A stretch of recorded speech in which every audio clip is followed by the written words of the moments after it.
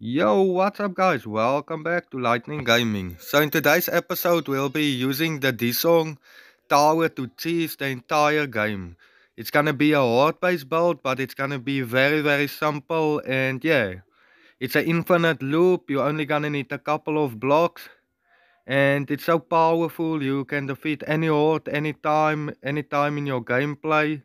Just so so OP and don't forget you get the best loot. You get tier 5 loot from the zombie drop. So yeah, first up you're gonna come here to the elevator that's right at the bottom of the Dishong tower. I'm just gonna skip through this part. You're gonna break down the door. Okay, so we're almost done. Once you break it down, as you can see guys, it's open all the way to the top. But we're not even gonna go that far.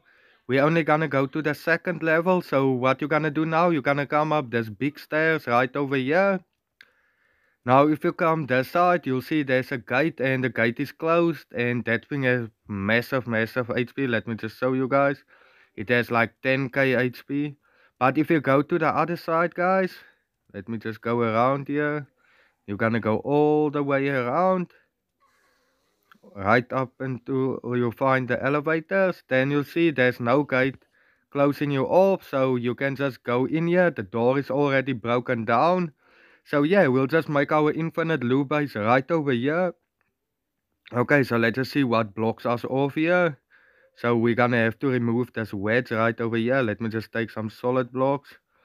Yeah, I'm gonna have to remove this wedge. It won't have a lot of HP. Let's just see real quick. Yeah, only 1k HP. So you're just gonna remove first of all this wedge right over here that's in your way. Just gonna take this one away as well. Okay, that one. After that, we should be good.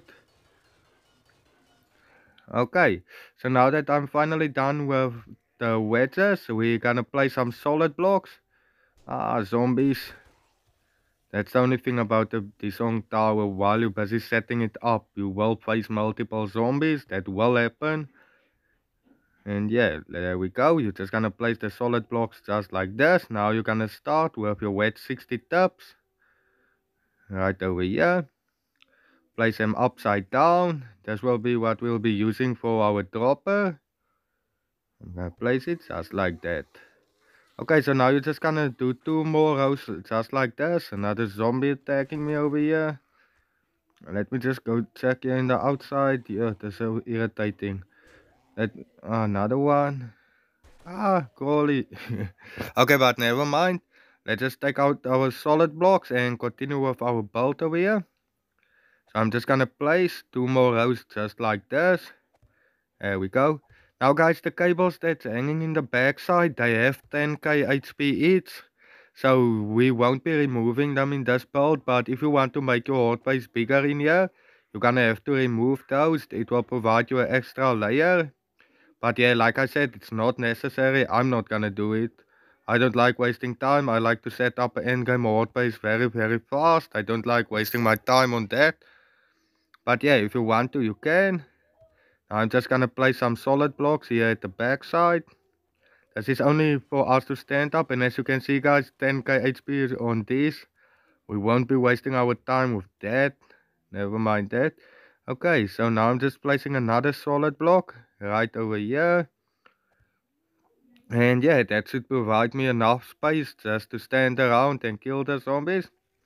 Next up, I'm placing a scaffolding right over here. Okay, now if you place it facing the other side, it's actually better, but this is fine. Now I'm just gonna go around. I'm gonna place my half cubes. This will be what forces the zombies to drop down. So you're gonna place down three layers just like that. Now, you, as you can see, I can't place any there because my scaffolding is blocking it.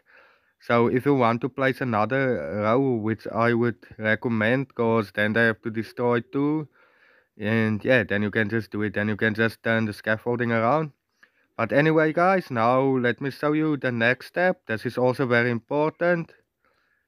Okay, so what's gonna happen, guys? The zombies is gonna run up the stairs they won't go that side because they're blocked off from that side. They will only continue running on all the way from the other side. Right over here. So we don't have to change anything in the path. The path leads straight to you. and it's quite hard to break it so for lots of horde nights this is gonna work and you don't have to do a thing so now you're just gonna remove this blocks right over here okay so i'm just skipped a little bit so i got those blocks removed and yeah guys guys that's basically it they will drop down here they will head straight out the door and they'll just do the infinite loop now you're just gonna hang back here and you're gonna wait for the horde to get to you I'm gonna skip to Night to show you guys how this works out real quick. Okay, so I'm a little bit into Night. The zombies are starting to approach now. Now guys, what will happen is they're gonna try to get to you. They're gonna fall down the elevator shaft, as you can see right over there. And yeah, they'll just do the loop over and over. You can stand here and shoot them. You can shoot them at the bottom or in front of you, however you like and it just works great every time. Thank you so much for watching guys. If you enjoyed the video, please remember to give it a thumbs up and to hit the subscribe button. Till next time guys, cheers, see ya.